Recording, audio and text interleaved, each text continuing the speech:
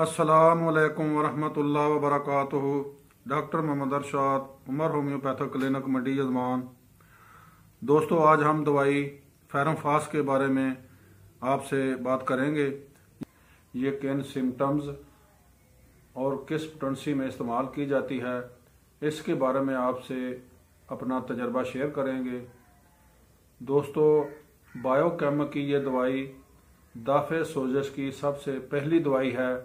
हर किस्म की इन्फेक्शन जिसम के किसी भी हिस्से में हो, जो कम अज़ कम 10-12 घंटे से ज़्यादा की ना हो तो फेराफास इसमें कामयाबी से इस्तेमाल की जाती है। इसके मुकाबले में अगर हम होम्योपैथी की तरफ़ जाएँ तो होम्योपैथी में एकोनाइड दवाई है जो इसका मुकाबला करती है। दोस्तों, दोनों दवाइयों में जो फ़र्क है वो आपको बता देता हूँ।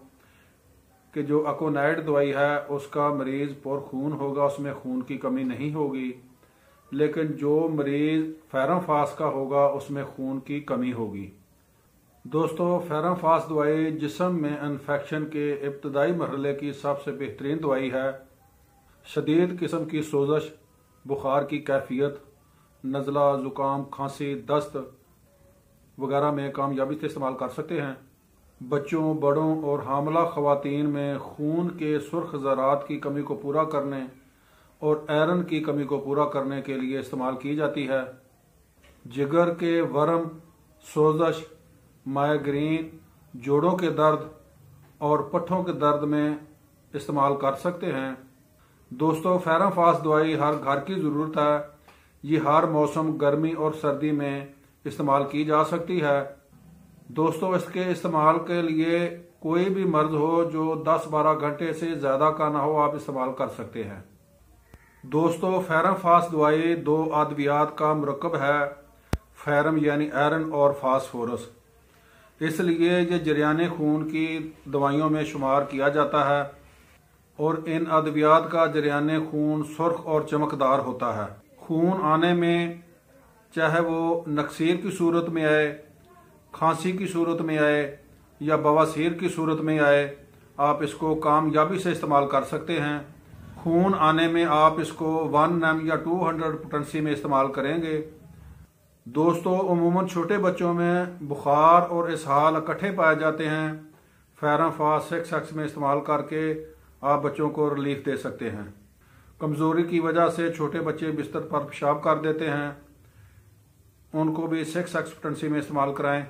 दोस्तों, ज़्यादा अरसा फेराफास छोटी ताकतों में इस्तेमाल करने से बेख्वाबी पैदा हो जाती है, जिसको आप हाई डोज देकर दूर कर सकते हैं।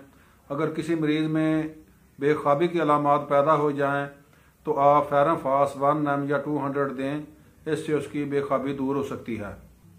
सोजश के पहले दर्जे में जबकि अभी किसी किस्म की रतूबत पैदा ना हुई हो फेराफास को नमूनिया में ब्रांकैटस इब्तदाई चोट या ज़ख़म, खुश्क खांसी, फोड़े फिंसी वगैरह में इस्तेमाल कर सकते हैं। दोस्तों, जिस तरह नाम से ही ज़ाहिर है कि फायरम फास दो दवाइयों का मरकब है। दोस्तों, इस दवाई के मरीज़ में दांत, दर्द, सर्द पानी से आराम पाता है।